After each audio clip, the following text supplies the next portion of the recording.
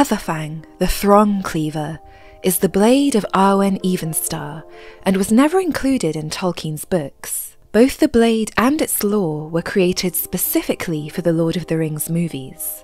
Originally carried by Idril, elven princess of the hidden city of Gondolin, it was passed down through generations, first to her son Eärendil the Mariner, and then to his son, Elrond Half-Elven. Elrond wielded the sword in the Battle of the Last Alliance, using it to great effect against the forces of Sauron. As time passed on, Hadhafang would be given to his daughter, Arwen, who brandished it against the Nazgul while protecting the badly injured Frodo Baggins. Inscribed across the blade are words in Tengwar, reading, Ain estar Hadhafang i Shathol Hen, found Arod Dani Thang and i Arwen. This blade is called Hadhafang, a noble defense against the enemy throng for a noble lady.